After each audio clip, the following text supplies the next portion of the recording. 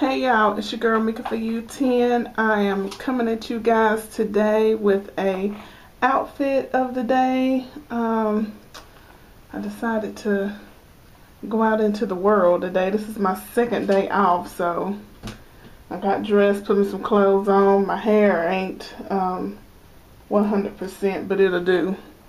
Um, so let me show you guys. I'm going to trip over my daughter's little footstool here um, what I got going on here. You guys can, um, just turn this over so y'all can see.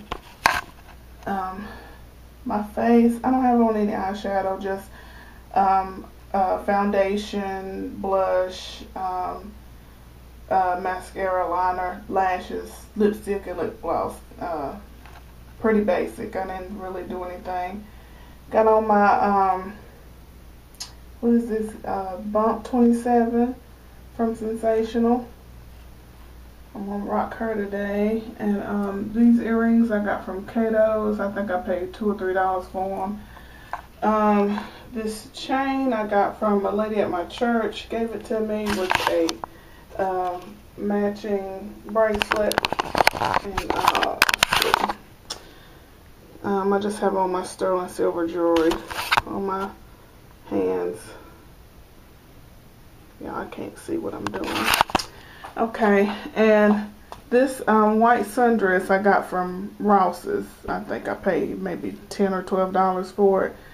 This um, shrug I got from Rainbow. I think I paid 7 for it. And my shoes have like I don't know, some type of flower, sunflower or something. And I got these from Payless. I think I paid like $5 for, for them at Payless. So, yeah, this is my outfit for today. It is so hot outside. I just, um, yeah, white. With some bright yellow, right? But this is what it is today. Alright, you guys. I will talk to you guys later. I will see you guys in the next video, alright? See y'all.